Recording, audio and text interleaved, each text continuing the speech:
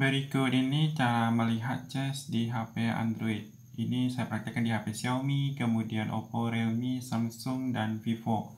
Kalian bisa nonton sampai habis sesuai dengan merek HP kalian. Ini pertama HP Xiaomi. Kalau Xiaomi paling efektif kita melihat chest itu per aplikasi. Intinya aplikasi yang kalian gunakan. Seperti sering nonton YouTube, tekan lama YouTube, pilih info APL atau icon i yang dilingkar, pilih penyimpanan. Nah, di sini ada chest. Chest itu yang namanya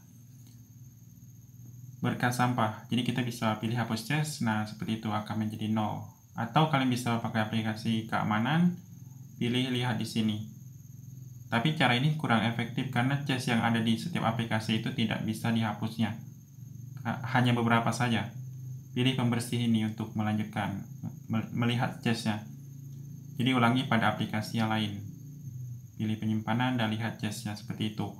Kemudian untuk kalian yang pengguna ponsel Oppo sama saja.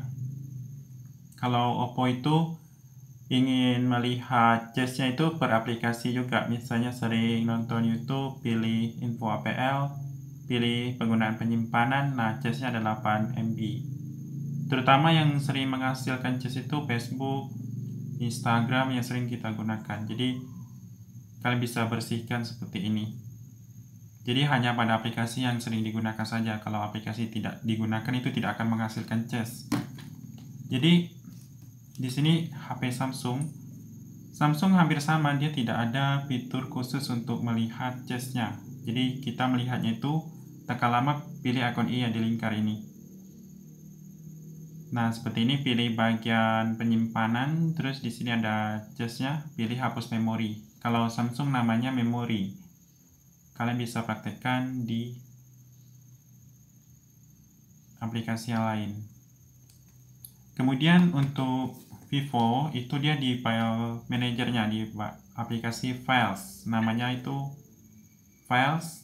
Jadi kalian cari saja aplikasi yang namanya Files yang ini. Kemudian pilih bersihkan, nah di sini akan ada file sama pilih hapus. Namun cara ini tidak efektif juga. Setiap aplikasi itu masih ada chestnya. Tekan lama pilih info aplikasi atau icon i yang dilingkar, pilih penyimpanan. Nah, chestnya masih ada walaupun kita hapus pakai itu. Jadi paling efektifnya itu kita tekan lama aplikasi, pilih info aplikasi atau icon i yang dilingkar, pilih penyimpanan, pilih hapus chest. Jadi seperti itu. Itu saja, semoga bermanfaat.